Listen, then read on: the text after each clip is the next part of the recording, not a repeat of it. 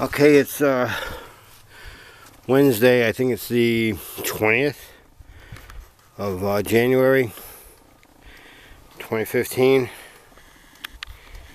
Pretty soon, you know, you see that little band that goes all the way around the garden there. That's going to be done. And then I'm going to put some sunflowers. I'm going to sow some sunflowers. So you get the whole, the whole uh, side of the garden, all along the whole back and then up on the side over there up to where CJ's grave is.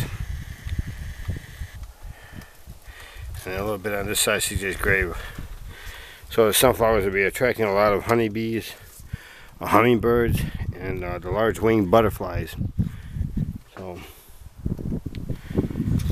uh, this mess out here the chemtrailed atmosphere that we have people keep laughing it up for a while yeah, people are already starting to show some side effects, so uh, it might be a lot less than what I was saying about 10 years. It'd be a lot less than 10 years when people start uh, coming up with all kinds of upper respiratory type diseases. I mean, they're soaking this stuff in the ground. You see the trees here. That's that's that's facing west. You know. And that tree, it's got it all around it.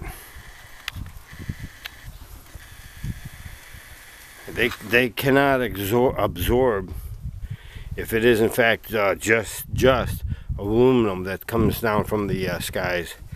But uh, the trees are, are, suffering as a result. Uh, they're going to continue to grow you know.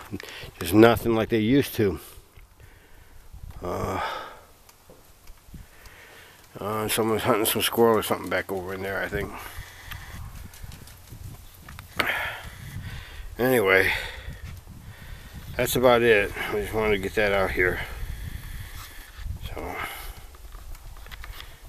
this camera is a really great camera.